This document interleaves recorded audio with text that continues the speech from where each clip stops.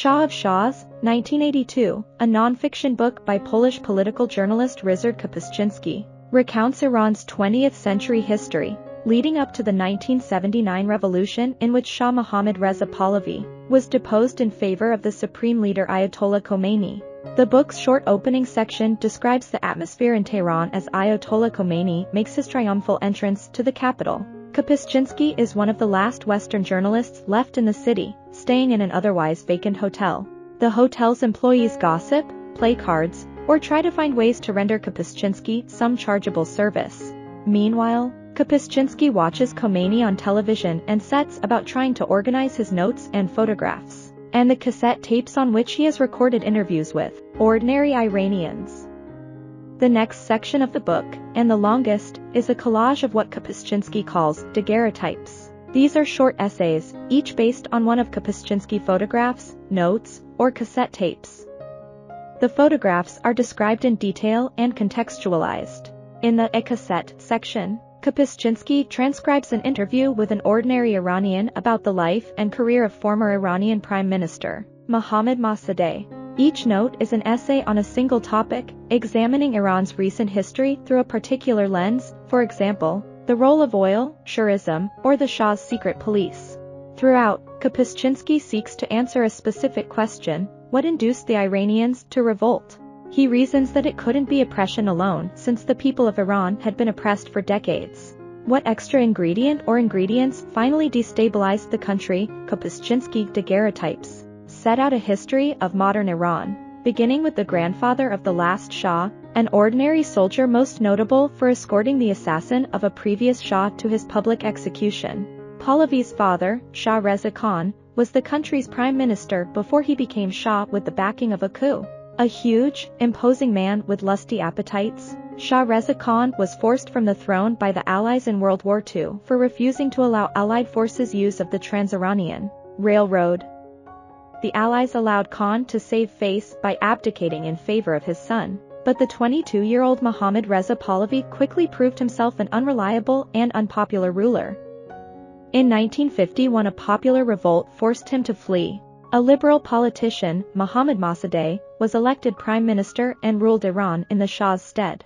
Mossadegh incurred the wrath of the Western powers when he set about nationalizing Iran's oil industry.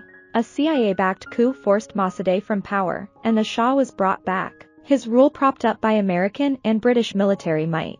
He was widely seen by his own people as a mere puppet of Western power. The Shah established a violently oppressive regime, his secret police, Savak, abducted, tortured and killed the Shah's opponents. The charismatic Shiite preacher Ayatollah Khomeini began calling for the Shah to be deposed. He was a powerful figure, regarded by many as the prophesied 12th Imam, who would lead mankind into a new, more faithful era. Kapuscinski argues that the mosques effectively incubated the revolution by providing a place where the regime's opponents could safely congregate. The Shah attempted to outlaw public expressions of Muslim faith, but this only served to harden the association between the Shia devout and the political opponents of the Shah.